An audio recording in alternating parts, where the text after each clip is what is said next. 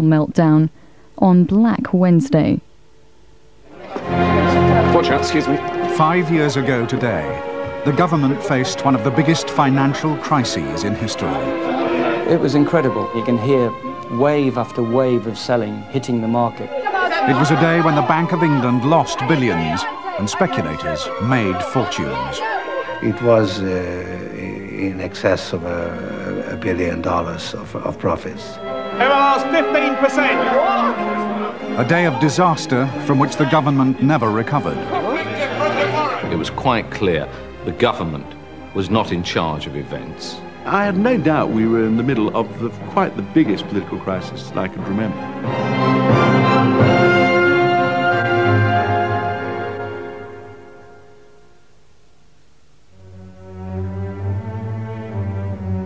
Margaret Thatcher put Britain on the road to Black Wednesday. The economy was in crisis, and in her own party, the knives were out for the Prime Minister. Her Chancellor, John Major, suggested a rescue plan. He believed joining the European exchange rate mechanism would be both good for her and the economy. Margaret Thatcher detested the idea of putting the pound into Europe. But most Tory MPs supported it, and she knew years of division had to end. There had been some pretty heated discussions back in 1985, 1986. I remember one famous occasion ending in discord in the cabinet room with Geoffrey Howe storming out and slamming the door, possibly the most decisive thing he ever did. Um, so feelings ran pretty high for a long time. John Major took it all down. He managed to gently persuade her that it was probably right for the economy. There were strong domestic political reasons to do it. And slow, rather like water dripping on a stone, it eventually became not too painful a decision for her to take. It would be a revolution. The pound's value would be locked against the German Deutschmark and other European currencies. It could vary, but only a little.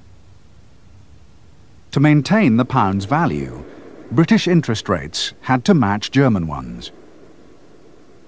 In theory, the pound would then be stable, equally attractive to investors. Whatever the Germans did to their interest rates, we would have to do the same. The hope, German discipline would give Britain a stable pound, low inflation, and German-style prosperity. It was a high-risk strategy, Nevertheless, Margaret Thatcher called in her Chancellor and the highest officials. She decided Britain would join the ERM the very next day. The hope was it would boost the Prime Minister's popularity before the Tory party conference in three days' time. This meant going in at the level the pound stood against the Deutschmark then, which was high. Despite the ERM rules, the Prime Minister took the decision without negotiation. Although she was the one who let us in, she did it against her better judgment. And with a bit of defiance, there was no nonsense about consulting the Europeans. Uh, we did it, and we alone did it. John Major called me and said, we have decided to join at a rate of 295 D-marks. And I said, John, I have to tell you, we have to negotiate that. And I think 295 is a little bit on the high side. And he said, no, we cannot change that because it was decided by the prime minister. And I said, well, I don't care about your prime minister, but I wanted to negotiate that with you. You have to follow the rules. But he said, well, it's too late. We will announce it in half an hour. And after it was announced, of course, there was no room for negotiations anymore. And I, I simply had to accept it and to pray and to hope that this was a realistic rate.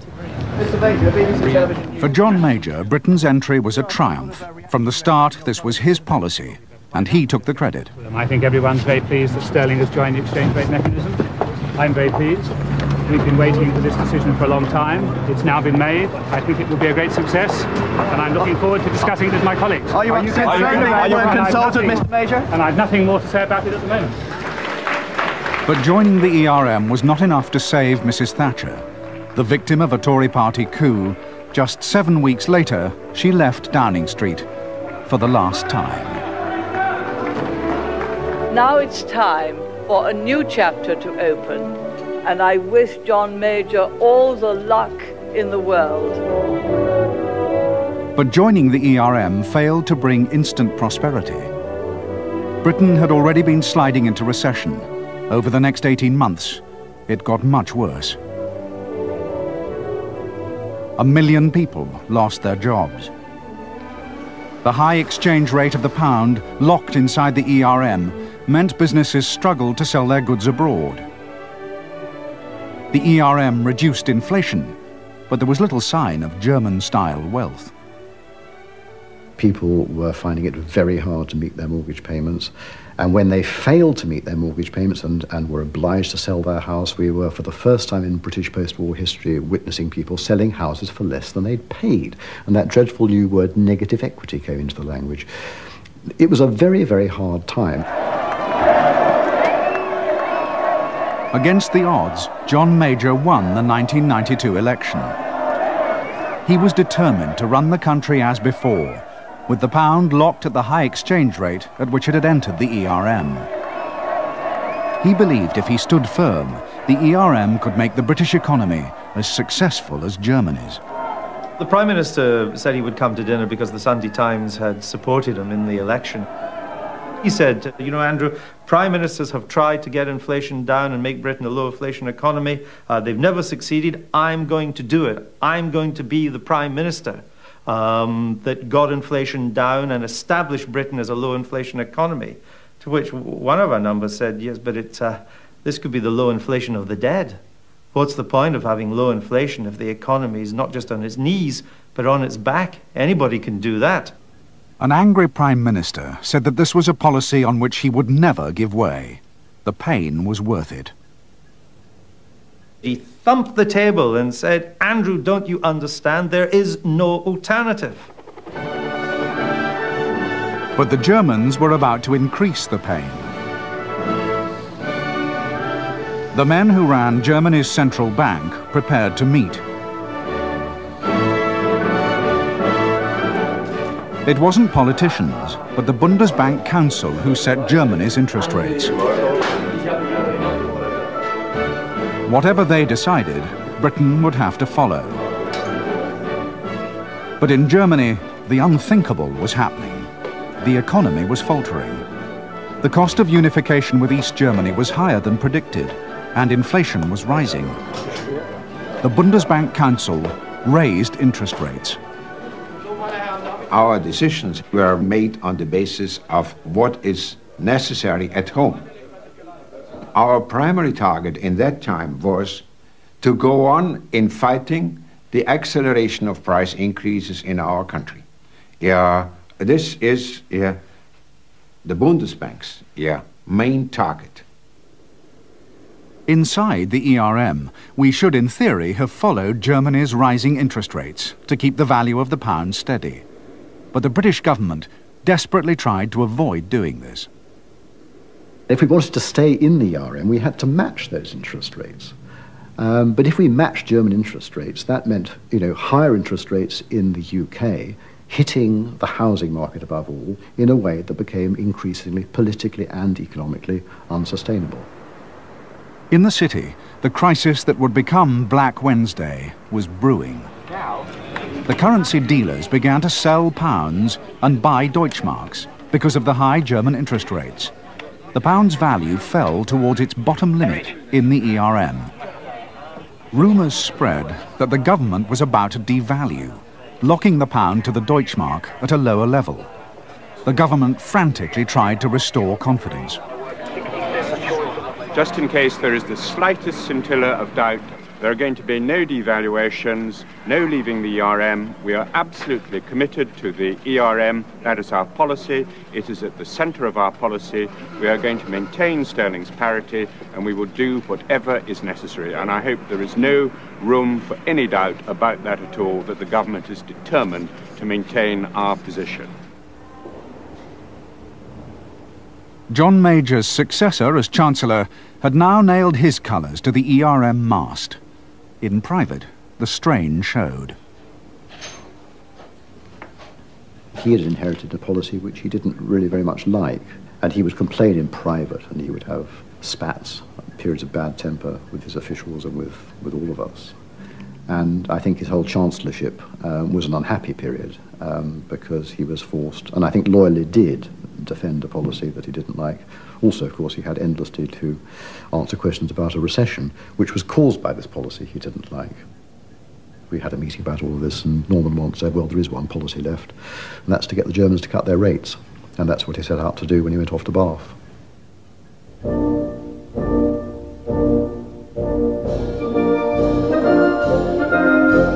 What happened now edged Britain closer to Black Wednesday. Europe's finance ministers and top bankers were gathering. Norman Lamont's mission was to persuade the Bundesbank president to cut German interest rates to help Britain. Chancellor, uh, what about the pound today? A last-minute letter from Germany's leader gave hope. Before Bath, John Major had a very clear indication from Helmut Kohl that that he, Kohl, would like to see German interest rates come down. And that's the context, of course, for the Bath meeting, and it's very important because what the Chancellor then had to do was see the colour of their money. As Norman Lamont welcomed his guests, they could see he was a Chancellor under pressure.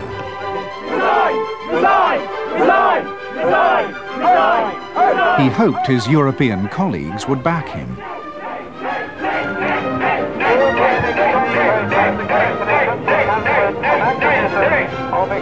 It wasn't just Britain that was suffering. The Germans were also forcing the other European countries to keep their interest rates high. Some were finding it hard to bear. There was an air of crisis.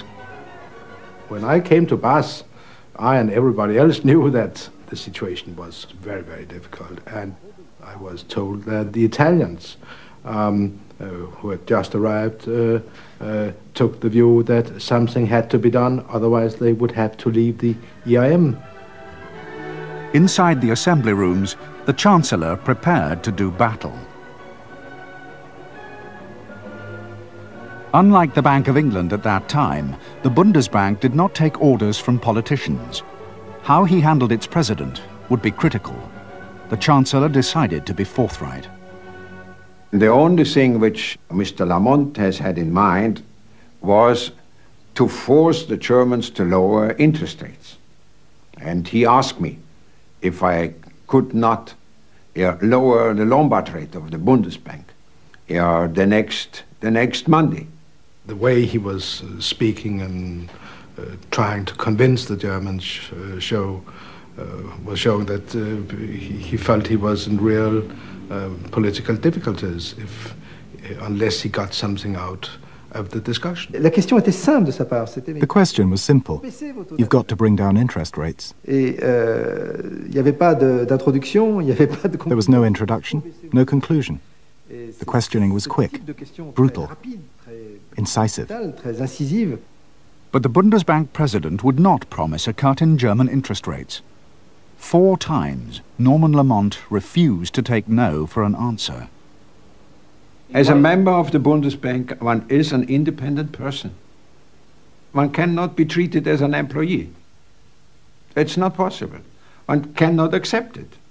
And I thought, he's not my master. I must bring this exercise to an end.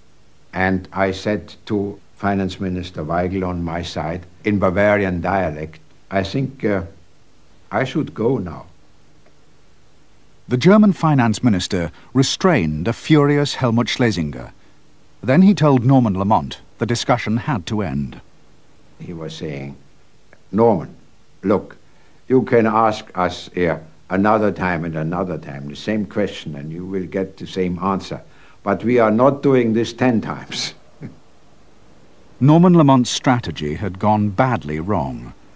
Not only had he failed to gain a cut in German interest rates, he had also antagonized the one man who could help him. It was among the most unpleasant meetings, unfortunately, I have participated in. This was a meeting which had created a lot of bad mood uh, and absolutely no results. And uh, this kind of things uh, don't happen uh, um, without implications and the fi financial markets the following days, they, they, they took notice of that. Helmut Schlesinger left Bath convinced Britain needed to take urgent action to keep the pound in the ERM. Either increase interest rates or to be prepared for a devaluation in the, the European uh, exchange rate mechanism. No other way? No other way,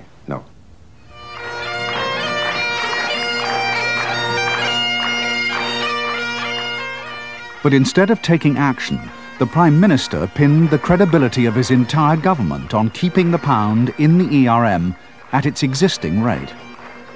He ridiculed those who said other policies would be better for Britain. Now we have the inevitable chorus of quack doctors peddling their remedies. I said to him many times, you really are taking a, a big risk for yourself that you'll have to eat these words if you, if you go as far as you do. All my adult life, I've seen British governments driven off their virtuous pursuit of low inflation by market problems or political pressures.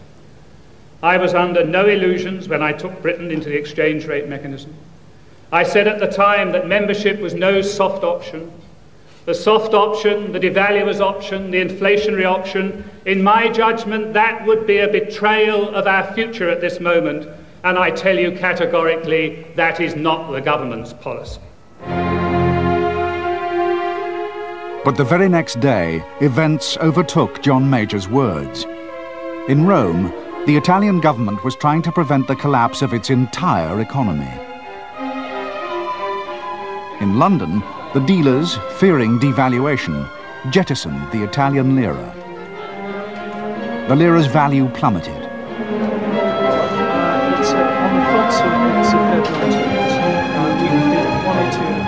To stop the slide and keep the lira in the ERM, the Bank of Italy poured in money. The Bundesbank did the same.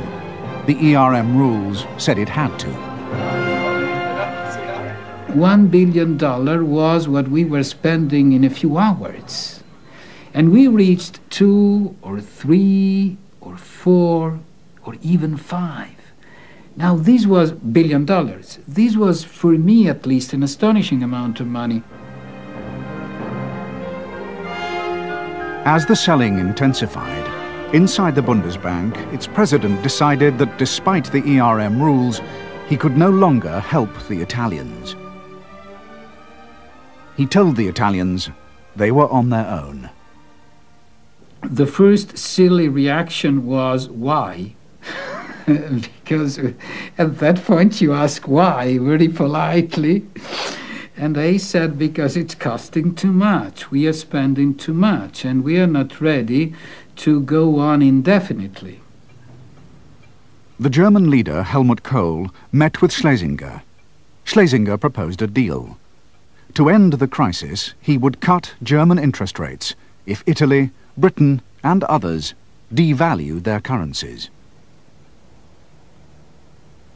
The Prime Minister was visiting the Queen at Balmoral. From there, he flatly rejected the proposal. There would be no devaluation, despite the German offer. This was notified to John by me. He repeated that he felt confident. I insisted. I said to him, John, we need stability. The markets are really in a fighting mood, and I do not think that uh, the victory on the lira will be considered satisfactory by them. They will choose new targets, but this did not change his mind. The next morning, the lira was devalued by 7%. The Germans cut their interest rates by a tiny quarter of 1%. Those dealers who had held on to the lira lost fortunes for their clients. Many started to sell pounds. They feared a British devaluation would be next. UK investment funds and indeed pension funds, all of a sudden they can see all these strains building up in Europe and the, the pound is clearly going to come under pressure. They're holding all these pounds and they want to get rid of them because they think the value of the pound is going to go down. So they started selling. In Frankfurt, the president of the Bundesbank gave an interview to a journalist. It only needed a hint that the pound might devalue to provoke an avalanche of selling. Inadvertently, Schlesinger gave that hint. Well, he said the realignment was not uh, satisfactory. It was not enough. It was only a small devaluation of the Italian lira. He wished, he wanted to have more, a more comprehensive realignment, uh, other currencies involved as well. Schlesinger believed his remarks were off the record. Werner Benkhoff did not. He prepared to send his story across the world.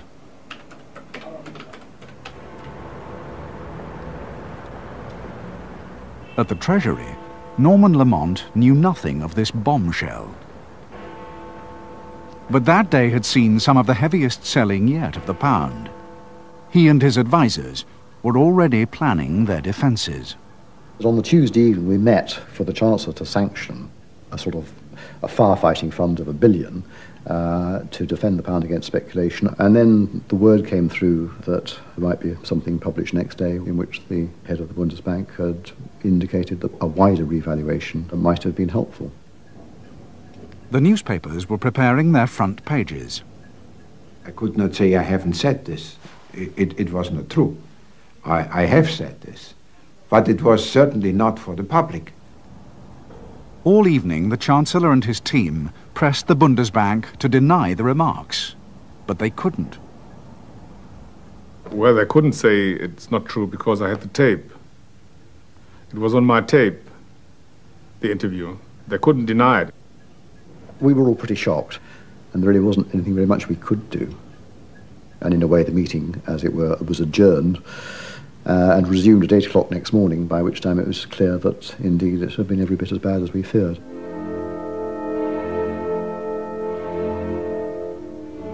Black Wednesday dawned. We got in to work at 6 o'clock because Schlesinger had made his comments the night before. And with what happened in the lira, we were all pretty worried that the pound was going to come under a lot of pressure that day. And so the drama began. The rumours of a devaluation meant that to hold on to sterling was a gamble. Banks, pension funds, international companies told their dealers to sell the pound, and then the speculators joined the fray. George Soros gambled five billion pounds, selling while sterling was still high, but intending to buy back cheaply if the pound devalued and make a fortune. The Bundesbank was basically egging on the speculators to speculate against the weaker currencies. And we took our cue, actually, from the Bundesbank. Get some dollar calls going out. I need some cable calls, so I've got stop loss. The Bank of England hoped it could make George Soros lose his gamble. It planned to sustain the pound's value by buying pounds at the official high ERM rate. Billions of pounds of public money were about to be thrown into the defence of the pound.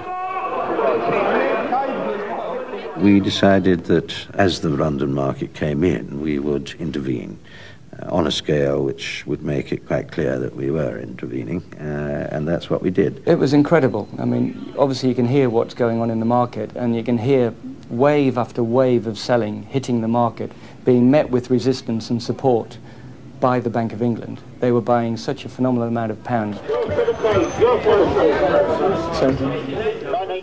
At the Treasury, they waited for news. We were really just waiting minute by minute updates um, from the market. And that was when we learnt that the billion that we had put aside to defend the pound up to the weekend um, on Tuesday night had been, you know, had gone in a few minutes. That was really when the question was posed. Uh, is this it? Is the game up? The bank was extremely grave. Um, they said, we will have to raise interest rates. Um, we can't save the situation by intervention alone. The Prime Minister was living in Admiralty House in Whitehall.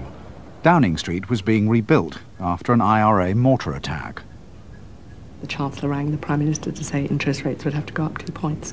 And they wanted the Prime Minister's agreement to that.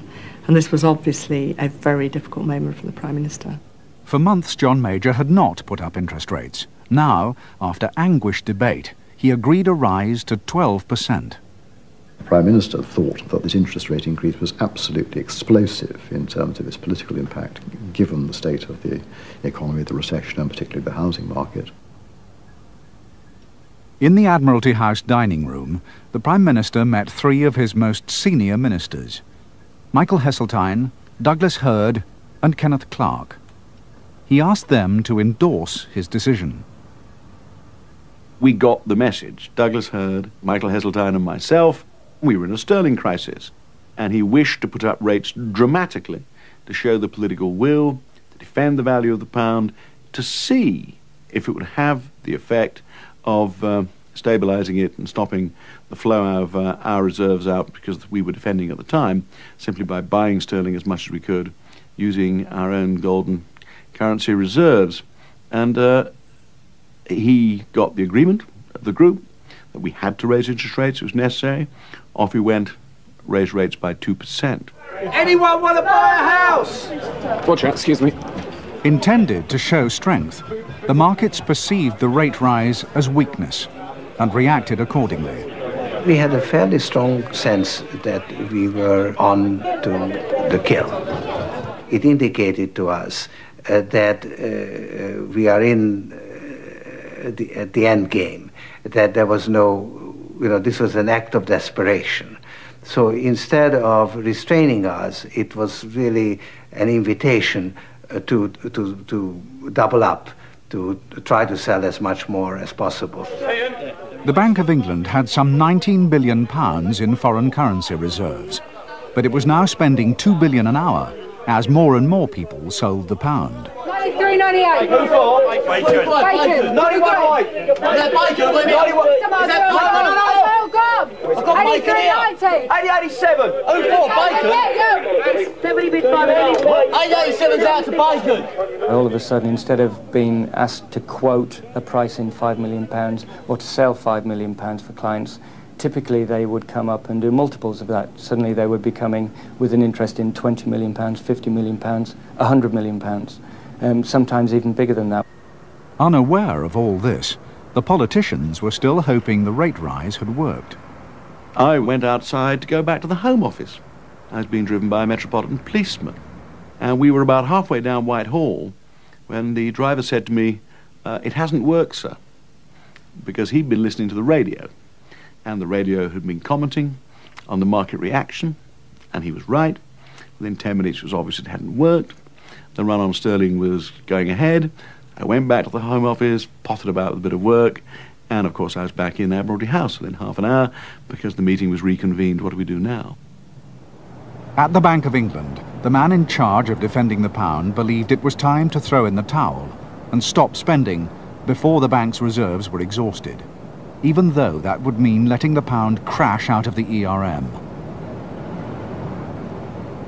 Well, my view at that stage was that the game was up. The scale of the intervention became heavier after the rise in interest rates because I think there were some people in the market who said that makes no sense in the context of the UK economy. It had become clear that uh, getting out of the RM was, was, was bound to happen and was, you know, the sooner the better. Upstairs in the Prime Minister's temporary flat, the Chancellor broke the grim news. Chancellor went through the options, the Prime Minister went through the options, and it was clear that the Chancellor's option was now to suspend. A critical decision had to be made. The Prime Minister insisted on summoning back his senior ministers. He had no intention of taking the decision to leave the ERM alone. It might destroy his administration. After all, he had made the ERM the cornerstone of the government's credibility. The Prime Minister went downstairs and went through the options very neutrally, but describing very clearly what the Chancellor's preferred option was suspension. I think it came as a shock to some of the colleagues that this policy, the ERM, could end so easily. I could see our economic policy, and to some extent our European policy, were collapsing. The Chancellor of the Exchequer and the Prime Minister, and all of us following them, had been emphatic and definite for month after month that this was the centre of our economic policy. it also had its importance for our foreign policy. Uh, and therefore, yes, of course, everybody in that room wanted to stay in if we could. A further interest rate rise to defend the pound would be disastrous for the economy, and there was no evidence it would work. Norman Lamont again advocated suspension, but Michael Heseltine, Kenneth Clarke, and Douglas Hurd disagreed. Most of them wanted to make it clear that we'd gone the final mile to remain within the ERM. There were some people who said, well, are you absolutely confident that if we raise interest rates further, that won't uh, actually persuade the markets? I thought that extremely unlikely, but um, I mean, in those circumstances, if people wanted to try, then that was um, something that one couldn't exclude. It might just work. John Major decided to raise interest rates a second time to 15%. Did anyone think it would work?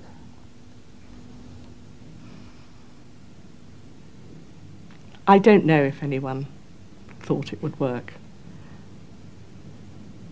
Most of his colleagues, I think, thought it was the right thing to do. What did you think?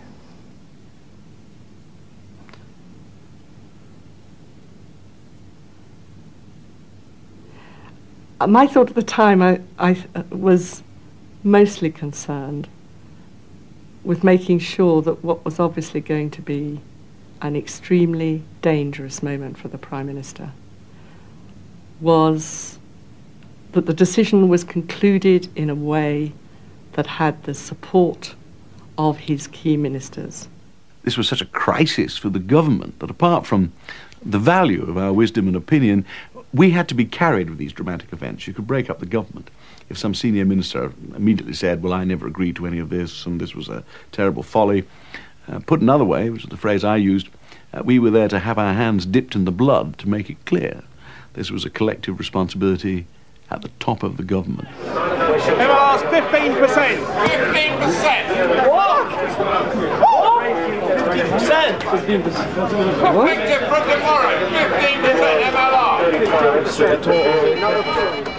The interest rate market, which was sitting 30 yards away, exploded in noise. We thought, we can't believe that the Bank of England's raised interest rates again. That was a sign of weakness, not of strength. The more those rates go up, the more it's going to be worse for the pound, isn't it? Mortgage rates, no way. Ten done. Dollar mark. There was a very, very small rally in sterling. It went up maybe a third of 1%, a very, very small rally for such a big rise in the interest rates, and immediately settled back on the floor. And the Bank of England was still buying pounds. Uh, that afternoon, it became a veritable uh, uh, avalanche of selling. In a sitting room inside Admiralty House, Michael Heseltine, Douglas Hurd, and Kenneth Clarke now sat drinking tea, hoping against hope the second interest rate rise would work. It was whilst we were in the sitting room in the afternoon that we suddenly realised that we were probably less well informed than practically anybody else in the United Kingdom about exactly what was going on. And so we actually began to search for a transistor radio. We decided that we should try to keep in touch with the money markets. And uh, here we were, cooped up in Admiralty House, uh, three people in the country least well informed about the hour by hour movements in the money market, which kept being reported to us and upon which we were acting. Realignment this week, Trent Bank Chief Economist says.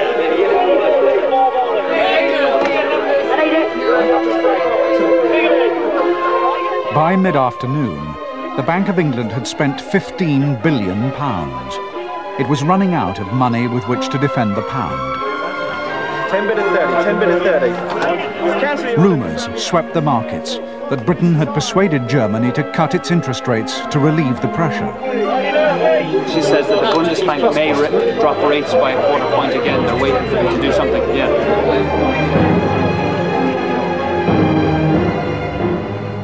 But the Bundesbank was not going to take decisions that put the needs of Britain before those of Germany.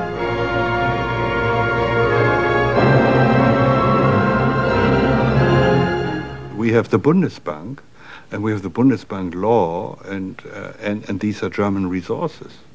So, you know, uh, to give everyone a free ride is not our, our, our task.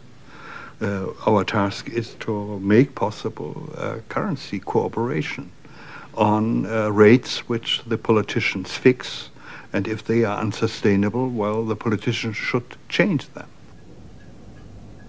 The Prime Minister had a series of conversations with the Germans to explore whether they would support sterling. Getting Helmut Kohl to say yes or no to that was important. But when John Major asked Helmut Kohl for German help, his reaction was non-committal. Reassuring, um, I'll get back to you. Did he get back? Well, let's just say the day moved on. We had no power. The markets and events had taken over. It became increasingly obvious as the day went on that we were merely being flotsam and jetsam, being tossed about in what was happening. And then? Then, of course, uh, the decision to suspend was taken. The Prime Minister gathered his colleagues. He told them Britain had no choice but to pull out of the ERM. They knew it was a political catastrophe. The government's credibility would be gravely damaged. Prime Minister was all right. Uh, I mean, he was in the same position as the rest of us. That the government was suffering uh, a major calamity, and that uh, we found we had not got sufficient control over events, and the British government couldn't stop it. No government could stop it when that amount of market sentiment was moving so much money around so quickly, and we had an indefensible value of the pound. And John was perfectly in control of himself and in control of the such business as we could handle throughout the day. The Prime Minister was calm and matter of fact, and indeed, usually at, in the heart of a crisis, in the very eye of the storm, in my experience, things are calm and quiet. It's before and afterwards that the emotional storms, the nervous storms begin to blow. Keith, I've done the dollar side, I've just worked the mark there now, right? The government made no announcement, but the Bank of England now withdrew from battle. At four o'clock, suddenly the Bank of England wasn't supporting pounds. Instead of a load of noise coming out of the voice brokers and everything and around the dealing room, everyone just sat in stunned silence for about two seconds or three seconds, and all of a sudden it erupted and sterling just free fell. That sense of awe that the markets could take on a central bank and actually win, I couldn't believe it. So how many pounds have you sold? About half a billion. Half a billion. So has it been good business? Yeah, it's been really good. What, what does that mean to the bank here? Um, we've had a, an excellent day. We've made a lot of money, so it's good. What are we talking about? A couple of hundred thousand pounds? Uh, probably about 10 million. 30 off for the pound. The markets finally closed, and dealers still didn't know that the momentous decision to leave the ERM had been taken. For three and a half hours, there was silence from the government. Treasury officials advised the Chancellor he shouldn't speak until a meeting was convened in Brussels with Britain's partners in the ERM. I'd never previously been in a government that hadn't got an economic policy. It's a weakness in, um, in a government's um, position. Uh, I had never encountered a situation where, in that situation, the ministers, the political leaders of the government, are accepting they can't tell the public anything about it when it's all over the newspapers. Every 10th rate economic pundit in the country is in front of cameras explaining what he thinks is happening. Most of the reporting is coming from people who haven't the first idea what's going on, and the sense of hysteria and panic is no doubt spreading through the nation. We had just put up interest rates by a most phenomenal amount in one day, and nobody was saying anything. The Prime Minister was reluctant to allow any government minister to speak.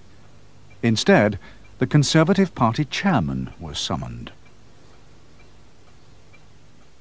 People did not want um, there to be any more uh, detailed questioning of what the next steps would be and what the consequences were, and so on and so forth. And clearly, it was easier in some ways to, to put the, the party chairman up. Um, he obviously couldn't be drawn to, to comment on any of the detailed um, economic consequences and what the next steps might be. As I came in, Michael and Douglas and Ken put up this sort of low cheer, and I thought this was very odd. What are, what are they cheering about? What then became evident, what they were cheering about, was that it had been decided that although uh, we, the decision had been, going, had been taken to go out of the ERM, um, that it was going to be myself who was going to appear on television that evening to explain it. And this rather kind of bizarre explanation was that there was this funny body called the Monetary Committee, who, uh, frankly, I'd never heard of, and I'm sure 99 people out of 100 had never heard of, which uh, sat in Brussels and it was a group of officials who actually uh, had to accept the resignation. It was sort of like a club, you know. You had to accept the resignation before it was official. So Norman Lamont had taken the view, well, if that's the case, I can't uh, actually appear on television uh, and uh, answer questions until it's official. And if he couldn't appear, no other government minister could appear. So there was Fowler, party chairman, not in the government, absolute godsend. That's why they were cheering. By this time, again, people like Michael Heseltine and myself were getting pretty fed up with the completely ridiculous politics of this. This is no way for a government to handle uh, the media or to handle the, uh, the, the, explanation of such a serious decision. Uh, we managed to get reluctant agreement. I mean, I would just gone out and give interviews personally, but we got reluctant agreement from the um, whole gathering that Norman Lamont could go out, give a slightly forced and artificial short statement, say thank you very much, and come straight back inside, as long as he didn't answer questions. Um, this was a fair old fiasco and added to the sense of, um, uh, no doubt, unreal drama to the outside world.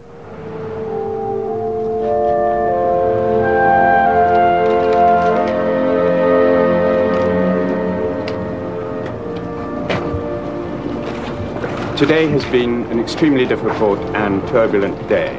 Massive speculative flows continue to disrupt the functioning of exchange rate mechanism. As chairman of the Council of European Finance Ministers, I have called a meeting of the Monetary Committee in Brussels urgently tonight to consider how stability can be restored to the foreign exchange markets. In the meantime, the government has concluded that Britain's best interests are served by suspending our membership of the exchange rate mechanism. As a result, the second of the two interest rate increases that I sanctioned today will not take place tomorrow, and minimum lending rate will be at 12% until conditions become calmer. I will be reporting to Cabinet discussing the situation with colleagues tomorrow and may make further statements then. But until then, I have nothing further to say. Thank you very much. Mr. Lamont, what about those in your party that are calling for your resignation? Mr. Fowler, it's difficult to see this as anything other than a defeat and humiliation for the government and a blow to the credibility of the Prime Minister, is it? No, I don't think it's uh, any of those things. I think the fact of the matter is that the government has had to respond to quite an exception. The Prime Minister telephoned Fleet Street editors he was about to discover old allies had become enemies. It was 7.30 on Wednesday evening. My secretary came to, to get me to tell me that the Prime Minister was on the line. Now, that's a sort of an unusual thing to happen, even, even in a busy tabloid office. And I couldn't, for the life of me, think what he wanted to talk about. We were up to our neck in God knows what, and the Prime Minister mysteriously can find a couple of minutes to come and chat to a, you know, a tabloid tosspot. So, um, I pick up the phone and he says, uh, Hello, Kelvin, how are you? And I said, Fine, Prime Minister, how are you? And we, we swap a bit of chit chat and he says, um, How are you going to play today? And so I acted slightly dumb and I said, um, In what sense? What do you mean? He said, Well, the big story. How, how are you going to play that? I said, Well, I have on my desk, Prime Minister, a great big bucket of shit. He went, uh, Oh, yes. And I said, I intend to pour it all over you tomorrow. And there's a sort of a pause the other end. And then he says, Oh, you are a wag. John Major considered resigning but didn't. Neither did Norman Lamont. I recall calling the Treasury on the day after Black Wednesday and saying I'd like to see the Chancellor. Much to my surprise, at about six o'clock, I was called over, ushered into the Chancellor's rather grand room in the Treasury. He opened a bottle of white wine. We sat. He seemed incredibly relaxed. And I said, How do you feel after this terrible event? And he basically said, I feel fine. In fact, I haven't slept so well in for months. Last night I didn't have to worry about the value of the pound. And it was extraordinary. Here was a policy that had been reduced to ashes at huge expense. And the Chancellor was saying the government would set another economic policy which put Britain's interests first. During Black Wednesday, the Bank of England lost between three to four billion pounds of public money, trying to keep the pound inside the ERM.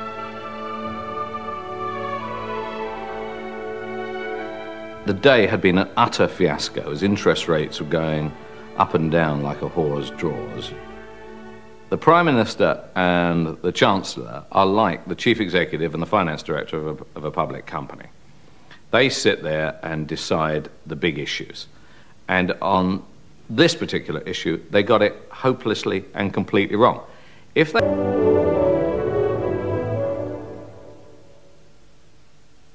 You might think it's an easy life being a well dressed global explorer. Only 440 quid.